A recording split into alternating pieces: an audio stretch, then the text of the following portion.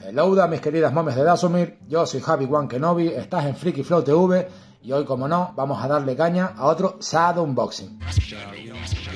Como puedes ver ahí en el giratuto de la vida, se trata en esta ocasión de El Mandaloriano y Grogu en su versión de Arbala 7, o lo que es lo mismo, el Mandaloriano embarrado hasta arriba. Así que, sin más pasteles, intro y le damos caña. ¡Vamos!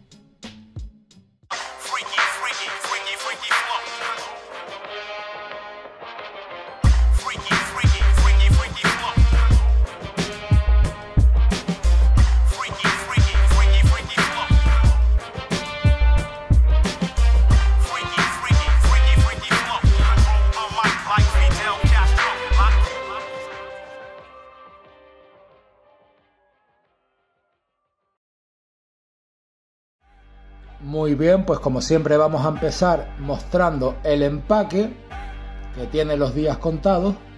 Estas burbujas plásticas tienen los días contados, como ya sabemos. Así que vamos a mostrar de una la cajona. Como puedes ver aquí, tenemos el colorcito naranja de la línea distintiva del Mandalorian. Mandalorian Grogu, Herbala 7. Y vemos que nos viene con el rifle de pulsos, el blaster, el colega viene embarrado Grogu, el huevo del, rinoceronte de barro y la cunita. El arte por el lateral, súper guapo, me parece un y viéndolo. Vemos que es la figura número 14 de esta wave y como siempre, atención, los warnings, todo el rollo, Disney Hasbro, toda la pesca, más 4 o más 40, you know, y la descripción en varios idiomas, la vida del compi, que vendría a decir algo así. Aguerrido y taciturno. El Mandaloriano es el formidable recompensas que encuentra un misterioso alienígena buscado por otros recompensas contratados por figuras imperiales que no son recompensas. Esa última mía. Bueno, y aquí lo tengo. La verdad es que pinta guay. Tengo ya varios Mandalorianos. Eh, la gente parece que está quemada de, el Mandaloriano. Yo sigo buscando todavía el Mandaloriano versión Evo Morales. Es decir, la que se le quita el casco y tiene debajo el careto que se parece de aquella forma, pero se le quita el casco. Esa todavía no la tengo y estoy loco por conseguirla. Una vez que consiga esa, puede ser, sería probable, es más que probable que pare de comprar Mandaloriano. Pero hasta entonces, todo el que caiga en mis manos se va a venir para casa. Bueno, sin más pasteles, como siempre, el cajito por aquí de abajo. Saca. Listo. Y procedemos.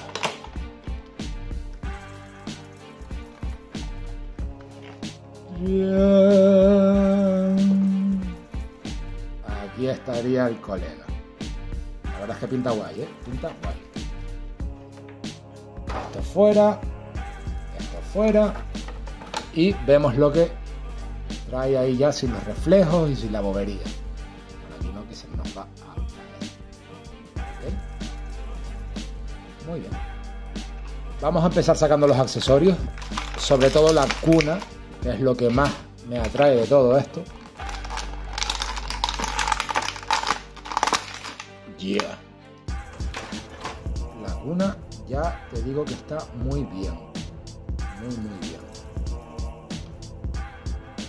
todo el daño, tal cual. No se cierra, no tiene la, parte para cerrarlo, no es problema. Pero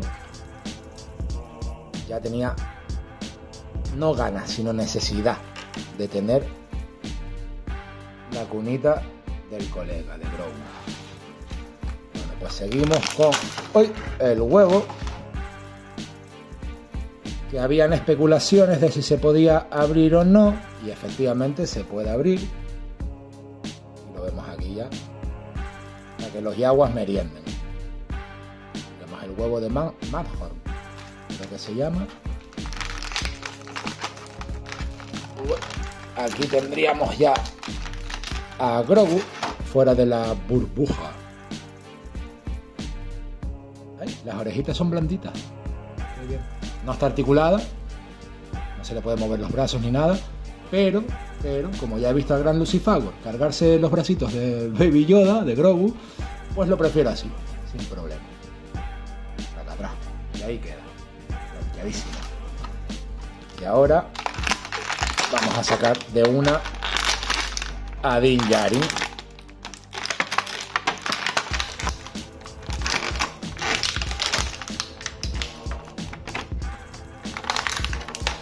Ya te digo que todo mandaloriano es bien. Es bien.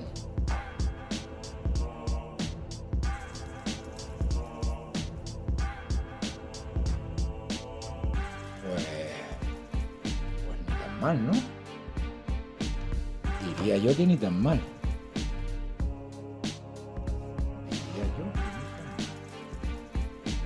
Pues lo tenemos ya aquí con los elementos todos colocados.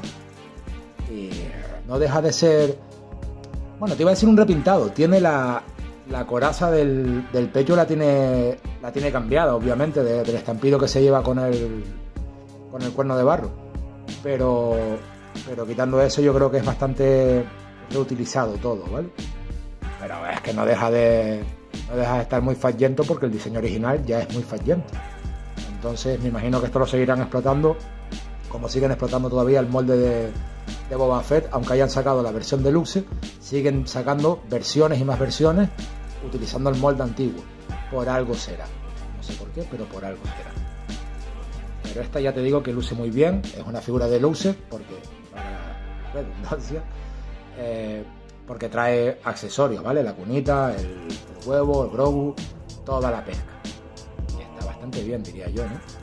La veo bastante guay. De hecho, esta tiene más sentido eh, incluso que la, anterior que, conseguí de- del mando, que era la del planeta lado, eh, que venía con, la araña diseñada por Ralph McQuarrie, está muy guapa también, pero el pintado simplemente es un poquito de congelación en determinados puntos de la armadura, ¿vale?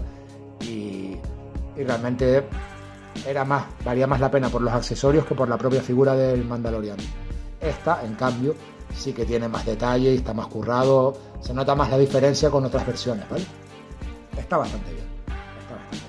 Ahora procedemos a hacer las pruebas típicas de flexibilidad, eh, hallarle unos planitos más en corto, pero ya te digo que está muy bien.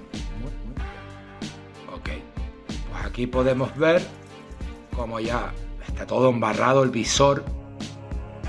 El visor todo lleno de barro, el Grogu haciendo la, la típica pose de uso la fuerza, te levanto para que el compi te acuchille con la vibrocuchilla. Redundante hoy estoy. La merienda de los yaguas. Todos los detalles de, la armadura embarrada. Mira Grogu, qué lindo. Qué bello. Pero qué bello. El rifle de pulso la capa toda embarrada. Seguimos con la misma historia de que no son capaces de ponerle una maldita capa de tela. José Luis Apro, parece que te la cobran como si fuera oro, la telita. Eh, bueno, vemos que no trae jetpack porque a estas alturas de la, de la serie todavía no había conseguido el, el jetpack, así que lógico es que no lo tenga. Vale, pues lo siguiente va a ser quitarle ya vimos antes que tal. Con esto me hago un bocadillazo espectacular. Ahí lo dejamos. Y vamos a hacer las típicas pruebas con el compi. Eh, El brazo izquierdo con la hombrera no sube más. De esta forma tendrías que girarlo. No problema. El rifle fuera porque con el rifle no se le puede colocar la capa de plasticucho siempre la misma historia. Colega hace el bandán de aquella forma, bastante decente. Este bracito sube hasta aquí, este no tanto. El Disukrai se queda a. El hombre de Vitruvio. Bueno, está bien, está muy guapa, está guapa, guapa la figura, sí señor. Hay que buscar una pose fallenta, pero está muy bien otra pega que le encuentro, eh, pensándolo ahora, se me acaba de ocurrir ahora. eh, realmente, si estamos representando la, escena del cuerno de barro, ¿por qué no trae la vibrocuchilla? Y me pones el huevo ese que. ponme la vibrocuchilla. Es lo que se, levanta al, rinoceronte, loco. Mal, mal. Eso por esa parte, mal. Pero, aún así la figura está muy Esta no la voy a meter en mi top 10. Para que luego digan que siempre. Es que todas las metes en el top 10, Javi One. No, coño. Hay algunas que no. Pero se queda cerca. Se queda cerca porque tengo debilidad por este personaje, como casi todo el mundo que le gusta Star Wars, ¿ok? Y está muy bien, mis queridas momias de Dasomir, pueden dejarme en los comentarios qué les parece esta figura, si están cansados ya de tanto mandaloriano, de tanto repintado y tanta hostia. Yo la verdad es que como nadie me obliga a comprármela, pueden sacar lo que quieran. Y yo ya decidiré si sí o si no. Bueno, pues hasta aquí el Shadow Unboxing de hoy. No les voy a dar más la tabarra. Ya saben, tírale un like si te gusta esta movida. Suscríbete si no estás suscrito. Coméntale a tus colegas de, loco, hay un fulano ahí en Tenerife que tiene una colección de Black Series y de repente se pone y te sacan un unboxing, Shadow Unboxing y con temazos de fondo además. Así que, ya saben. Muchas gracias por los minutos compartidos. Yo soy Javi Wankenobi. Estás en Freaky Flow TV. Síguenos en redes sociales que tenemos Twitter, tenemos Instagram.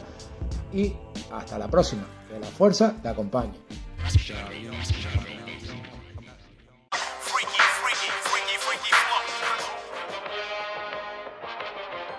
freaky.